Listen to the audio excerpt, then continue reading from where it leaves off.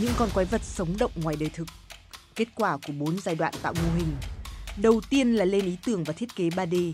Tiếp đó, phần quan trọng nhất, tạo hình bằng vật liệu thường dùng là đất sét không khô. Từ một cái ý tưởng nó chỉ có trên giấy thôi để biến nó thành hiện thực thì cái bước đó là cái bước khó nhất làm sao mà thể hiện được à, cái sự thật nó vẫn à, đi theo được đúng cái ý tưởng ban đầu nhưng mà nó cũng thể hiện được cái sự chân thực ừ, và chi tiết nhất của cái mẫu vật rồi khuôn được hình thành, sau đó gọt, sửa, sơn màu nhằm tạo những biểu cảm sinh động. Không chỉ tạo ra mặt nạ mô hình tĩnh, nhóm còn có thể thực hiện được các mô hình chuyển động linh hoạt như thật.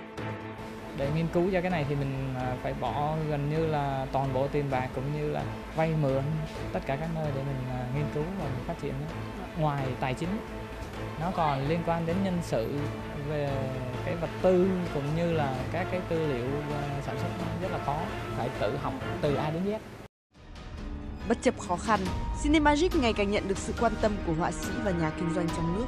Ban đầu chỉ là một phòng làm việc nhỏ, sắp tới, một xưởng hơn 1.200 m2 sẽ được hoàn thành để thực hiện ước mơ từ nhỏ của các bạn trẻ.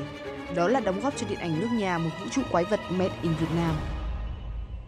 Dĩ nhiên là bản thân bọn mình ở đây vẫn có cái khoảng cách nhất định so với ờ, thế giới. Tuy nhiên là về ờ, À, nguyên vật liệu, về những cái kỹ thuật thì à, hoàn toàn bọn mình đã nắm bắt được. Vấn đề là chỉ là bọn mình có đi được dài hơi, có cái sự hỗ trợ từ thị trường để có thể ừ, biến cái ngành công nghiệp này nó ngang bằng với thế giới hay không thôi.